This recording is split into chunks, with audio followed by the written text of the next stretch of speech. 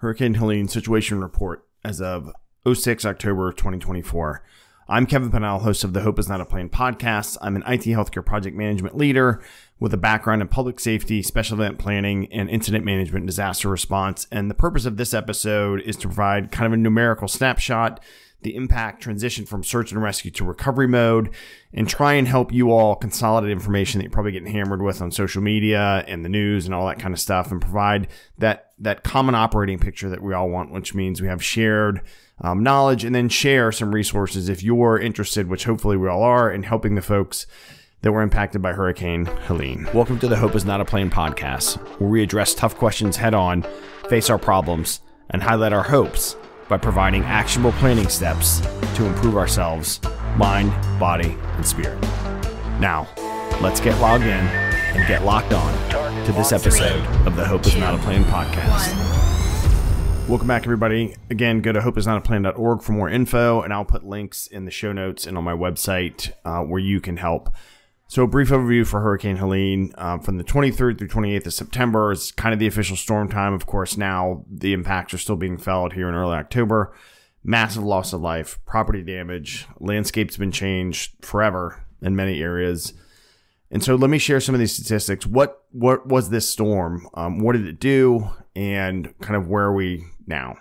Something to keep in mind is even before the hurricane made landfall and then slowed down a little bit, dropped tons of rain. They hit there was already 10 inches of rain in the areas, particularly in the mountains of North and South Carolina. So this area was saturated, saturated with water, right? And water can only go downhill and downstream into the ocean so fast.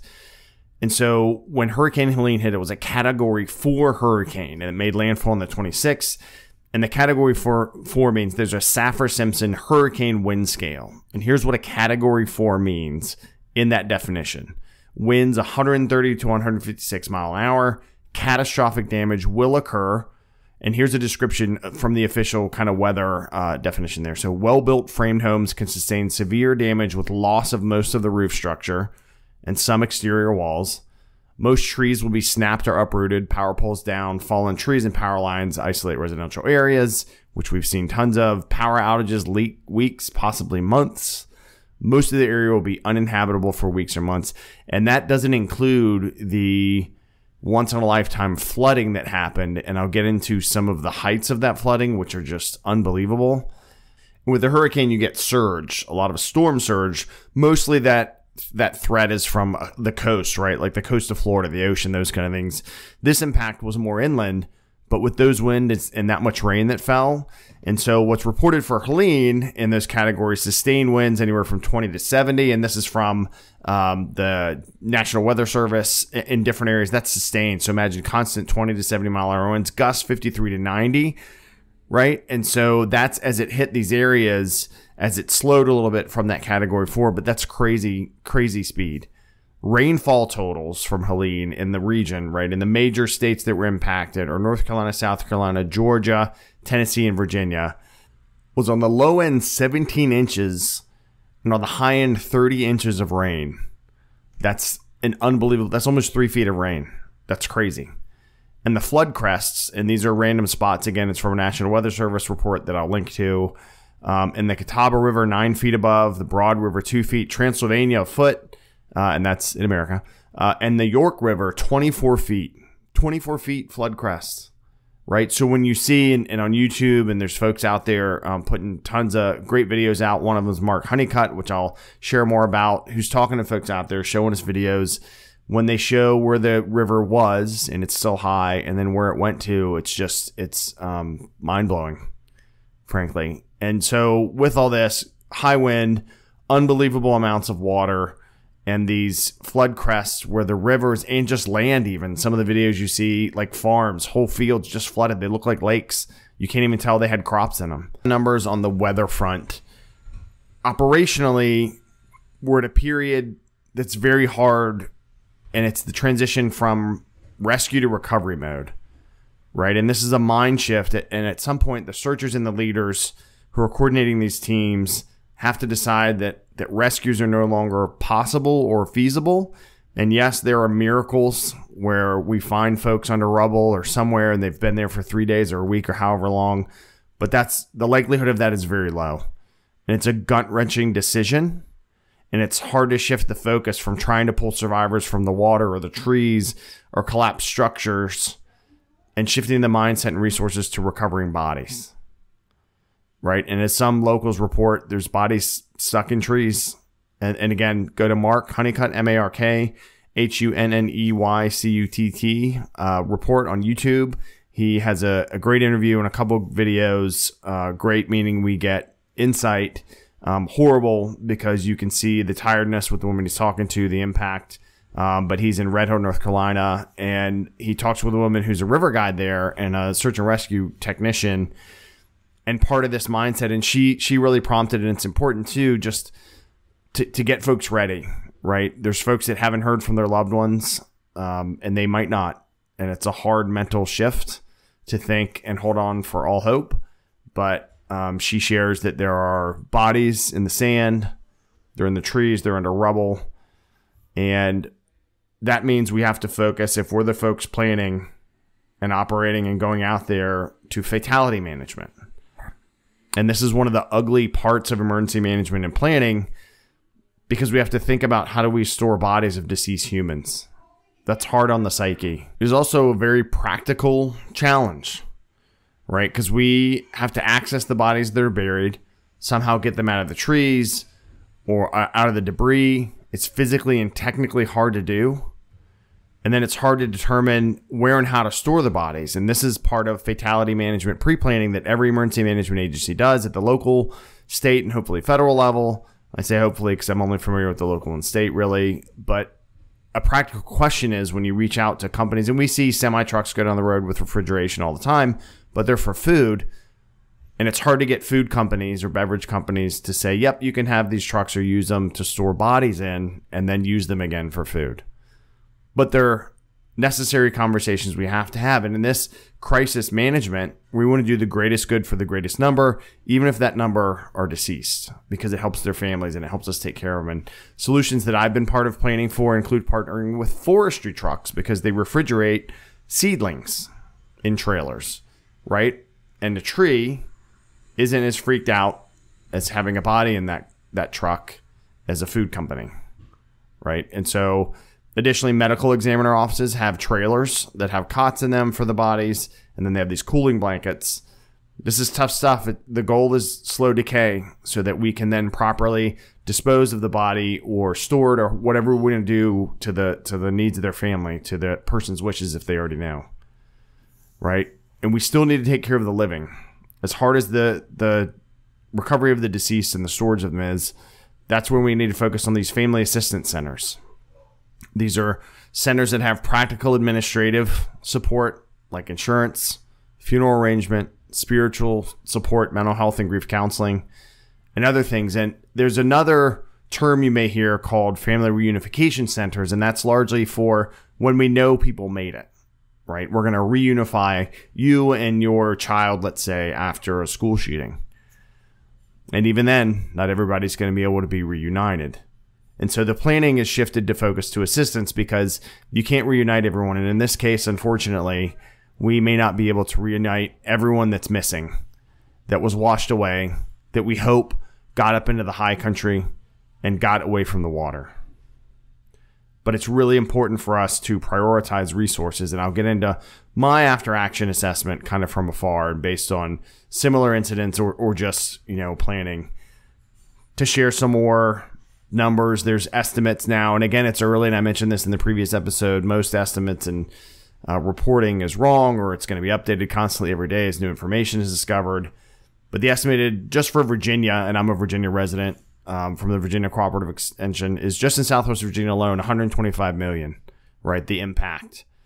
And total estimates based on various websites, different numbers all over, is essentially from the single digit billions to hundreds of billions, right? Because in some of these areas, they're going to have to rebuild them as if they never existed. So now I want to share, as of yesterday, the most important impact, the human impact that's been reported. And this is from CNN, and there's numbers all over. And again, the final numbers we won't know for a while, unfortunately. But I want to take a moment and think of and pray for the 113 people in North Carolina, the 48 people in South Carolina, the 33 people in Georgia, the 20 people in Florida, the 11 people in Tennessee, and the two people in Virginia that are reported to be deceased from the storm. And all those efforts and all those things I just talked about are a way to honor them and take care of their bodies in the way that their families would like them to and to give them closure and peace. And I wish all their families Godspeed and to all those that that that work to save them, that saved some, that tried to save others. My assessment so far, uh, from afar again, right? So I'm armchair quarterbacking this a bit as a former planning section chief. So someone that would come in, they would say, We need help doing these things, and I would help them organize it is from what I'm seeing from the reporting, from the variability reporting, from the complaints, from the different posts. And again, take all of these with a grain of salt and with a filter of emotion. Is that overall there needs to be improvement in the joint planning coordination, right? There should be one process and one area command, which means we're all going to work together in this whole region, do it by state, do it by whatever, but we're going to work together to coordinate a whole bunch of things that I'll talk about. We're going to set up bases, which is a place where we have our people rest and eat. And then there's staging areas where we have all these folks that are volunteering where they're ready to go to moment's notice to deploy. We need to coordinate all that. That's a problem already that you can see. And you hear it in that video I mentioned. The second thing is improve collaborative messaging. The messaging is tough to be nice the external messaging in between, in particular between local, state, and federal public information officers, right? So the local folks need to work better with the state, that certainly need to work better with the federal government. There's so much hate going around from the public in different areas, and rightfully so in some cases. But that's where public information officers can get ahead of that, not in a BS way, but in a real way. And part of that is also rumor control right? The states working together in joint statements and joint discussions. And we hear you saying this. Here's what we're trying to do. Thank you for letting us know.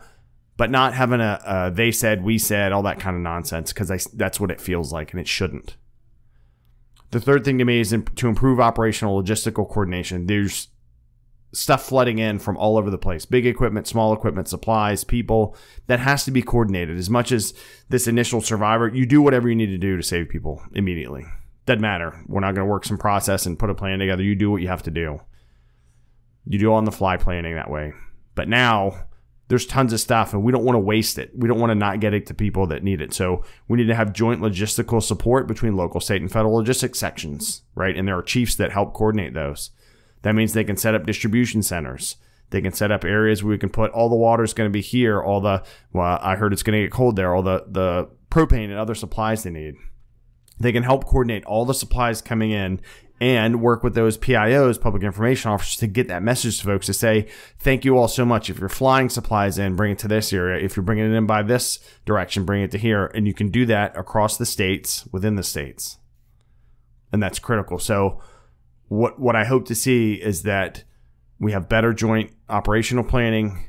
We are messaging better collaboratively across the, the local, state, and federal agencies and that we're improving the logistical coordination now that the sun's out literally and we have a little room to breathe and we can say okay just like um, the woman that was interviewed said these are small volunteer fire departments they're, they're not warehouses so there are resources in i know the state and federal government where they can make a big warehouse they have giant tents they have they can set them up just like a military base and do all that stuff so it's time to get that rolling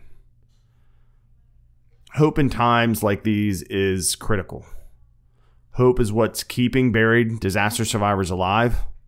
Hope is what keeps the exhausted residents moving through the destroyed property. Hope is keeping the hardworking rescuers and volunteers flying into the affected areas. Action is what's making shit happen. Actions the people living in the affected area took to prepare and evacuate to help their fellow man.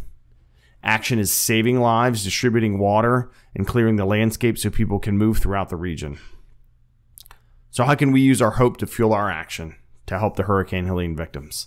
Here's some general guidance contact the state emergency management agency you live in. Most of them have things stood up, which I will share. Other guides are cash is king. Now, in those guides, when you see on the emergency management agency, they'll have disaster relief funds, but basically money, right? These organizations need money so they can spend it on what they know they need to, not us sending what we think we need. I've seen an example is In the summer, people sent winter coats for some reason, and now we have a bunch of winter coats and it's hot. We don't need them. So cash is king. Shelf stable food. So when we send food, don't bake your favorite recipe and send it. It'll go bad. It'll get wasted. Shelf stable means it'll last on the shelf. So the stuff that sits there, canned food generally is what's thought of. There's other stuff too. There's like pastas that's in plastic, but that's what folks need. Water. It's life saving. It's life giving, right? There's tons of water going into there, which is great. And they need volunteers. There are how they're organized by the state is called Volunteer Organizations Active in Disaster. And that's where you can step in with your state emergency management agency, who will then hopefully be coordinating well with the local emergency management agency. And what I'm going to do is share the link to each of the emergency management agencies for North Carolina, South Carolina, Georgia, Florida, Tennessee, and Virginia in the show notes. So go there. It's very easy. I went to all these sites to see how you can help, how you can donate, how you can give some cash, where you can send the food and the water, and how you can volunteer. Thank you all for listening. I hope this was helpful. Um, I'll keep this up every few days or so as I stay informed, um, as I know I've had friends and former teammates that have gone down there and care about my fellow neighbors not far away from me. I am still under a boil water notice myself, but I am blessed that it is not worse for us here. Thank you to all those that stepped in, stepped up, stepped into harm's way to help their fellow Americans. Godspeed to the survivors and to the fallen, and God bless America.